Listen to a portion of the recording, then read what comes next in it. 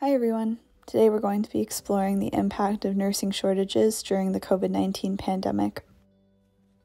The COVID 19 pandemic has had a far reaching impact on countless individuals and systems.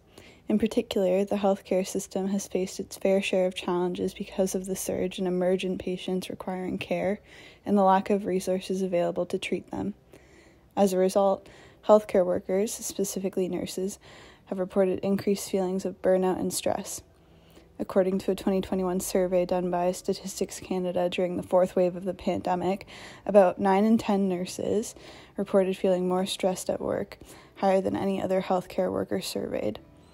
The same survey also reported that almost 1 in 4 nurses intend to leave their job or change jobs within the next three years.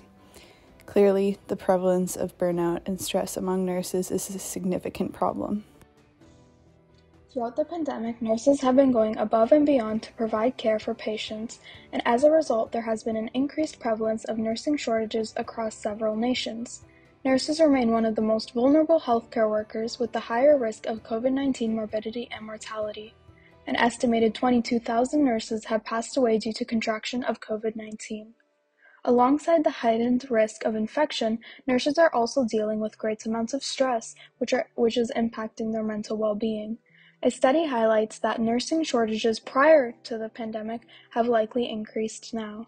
Nurses are also being diagnosed with anxiety, depression, increased amounts of stress, and instances of PTSD, post traumatic stress disorder.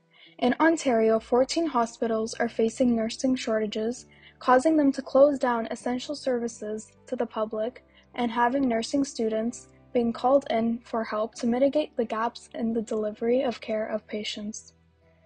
Nursing shortages are persisting across the globe. Researchers in Thailand were able to determine that burnout is a leading factor for nursing shortages. During the pandemic, nursing hours have been increased with more extensive workloads during that extra time on call, leading to detrimental impacts on mental health and psychological well being. To take a look at Canada, a total of 83% of registered nurses expressed that working through the pandemic has taken a toll on their mental health. A study on Austrian nurses showcased the negative impacts of COVID 19 on psychological, the physical, and their social well being. Findings depict that nurses were scared to spread infection, they had trouble sleeping due to emotional stress, and they had feelings of being sad. Physically, nurses had an increased amount of sweat, digestive problems, and instances of headaches. Lastly, in a social context, nurses felt alone and secluded. The stress on nurses notably translates to patient care outcomes. Compromised staffing ratios within the hospital environment are now of extreme clinical concern following the COVID 19 pandemic, especially. High patient to nurse ratios produce nurses that are often undergoing severe emotional burnout, leading to dissatisfaction at the job. This snowballs into something bigger.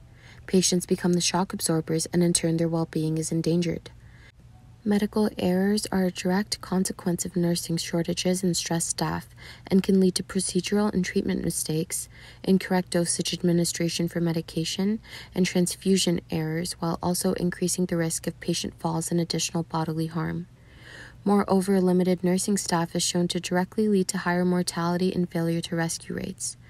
Increasing the risk of death during a hospital stay further places stress on the healthcare system, exacerbating the situation and leading to a repeat in the cycle. Many hospitals have attempted to rectify the issues that nurses are facing within the greater physical and social environment. For instance, several medical institutions have opted to increase the number of nursing assistants available to registered nurses to help meet their needs. However, this has been largely unsuccessful because it fails to compensate directly for low nursing staff. Moreover, there's been a clear move towards attempting to better working conditions for nurses to sustain the nursing workforce, but this continues to fall short because of limited staff. Nurses remain overworked and continue to feel unsupported and neglected by their employers. While there has been a significant burden placed on nurses as a result of the COVID 19 pandemic, there are steps which can be taken to reduce this burden. The Registered Nurses Association of Ontario has made several recommendations, including repealing Bill 124, which imposes a hard cap of 1% per year on wages and benefits for nurses and other healthcare professionals for three years. Among many other recommendations, they have also advocated for an increase in the supply of RNs by expediting applications and finding multiple pathways for internationally educated nurses to practice in Ontario, and increasing enrollment and funding in four year baccalaureate programs by 10% annually for seven years. These recommendations are supported by a systematic review examining the factors affecting the shortage of nursing workforce in hospitals, which found that decreasing nursing enrollment and poor salaries are no change to salaries, and poor working conditions are the main barriers that affect nursing burnout. Thus, overcoming these barriers seems like a logical and necessary step to combat the high reported prevalence of burnout among nurses globally. So, to provide a bit more insight into what the COVID 19 pandemic has looked like from a nurse's perspective, we've asked a nurse who works in the GTA to recall some of her personal experiences during this time. So, Amy, to start things off, I was hoping that you could talk a bit about your work and some of the changes that you've noticed throughout the pandemic. So, I started working as a registered nurse during the pandemic, um, but I was a nursing student before that. Um, it's definitely changed a bit with each wave. Um, but when I started working, um, I ended up taking care of COVID patients. I did not sign up to work on a COVID floor, but that was what my unit turned into based on um, the amount of hospitalized people. Um, this was difficult. Uh, it was a lot more exhausting. I found that we were always short staffed. Um, even if we had the staff, um, other areas of the hospital would pull people. They would get floated to ICU or emerge. So we were purposely being worked short. Um, we did have enough PPE. I'm thankful to say that I never had issues with that. We would sign out um, our masks and we would be allotted like three a day. Um, but you were encouraged to reuse your um, N95 mask. Yeah, I think that the challenges nurses have faced as a result of the pandemic have really altered their roles and responsibilities within the healthcare system. Um, with that in mind, were there ever any times that you felt fearful for your safety while on the job? In the beginning, I was definitely scared of um, for my health and safety um, because I was entering a career during a pandemic. Um, there was no vaccine at the time, um, you know, and I was going to be forced to take care of COVID patients no matter what. Um, it was definitely in the first wave, it was definitely scary because a lot of the population was younger, and I was taking care of younger people on oxygen um, that were even around my age, which definitely made me feel a bit nervous.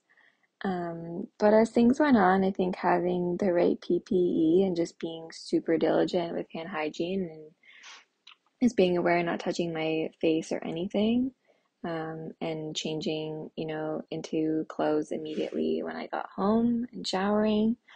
Um, overall, I think that I felt safe with time, but I definitely didn't um, in the beginning, that's for sure. It really does sound like uh, a difficult circumstance to be in. And I was wondering what steps uh, you were taking during this time to protect your mental and physical well being. To find like a good work life balance is really important. So, doing things that you enjoy on your days off. Because you are doing 12 plus hour shifts, I find that there's really no balance on my work days, unfortunately because I get up at 6 a.m. and then I'm not home until like 8 p.m. Some people like to wind down and watch something after a shift and just like decompress.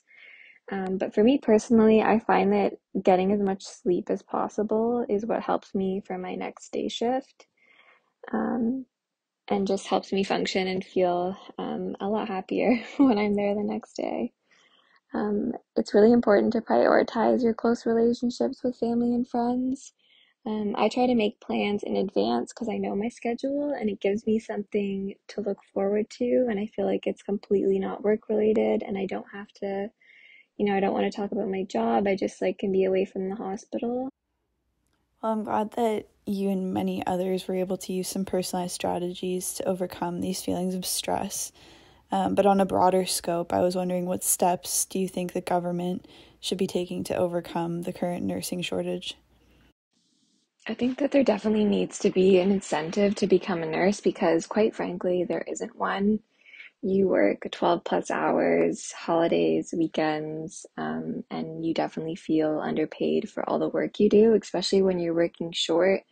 Um, if I have, you know, if I'm doing the work of two nurses, I'm not getting paid as two nurses.